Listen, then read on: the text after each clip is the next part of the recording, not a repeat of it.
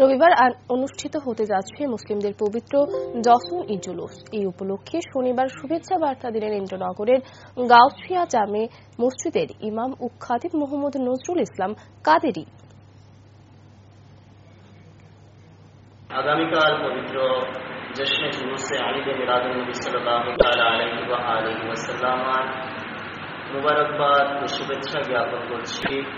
গোটা বিশ্ববাসীকে দেশবাসীকে, বিশেষ করে আমাদের ত্রিপুরাবাসীকে, আমরা আগামীকাল পবিত্র জশ্নে ঈদে মিলাদুল নবী সাল্লাল্লাহু তাআলা আলাইহি ওয়াসাল্লামার জুলুস বের হব।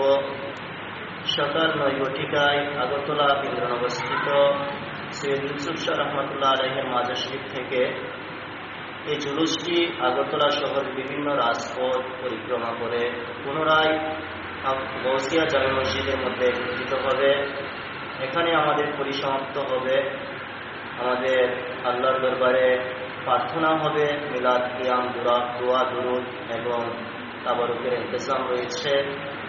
আমি জানাচ্ছি আগরতলা বৌসিয়া সমিতির পক্ষ থেকে মোহাম্মদ নজরুল ইসলাম কাদেরি এই নিউজ চ্যানেলের পক্ষ থেকে প্রত্যেক দেশবাসীকে মোবারকবাদ ও শুভেচ্ছা জ্ঞাপন করছি।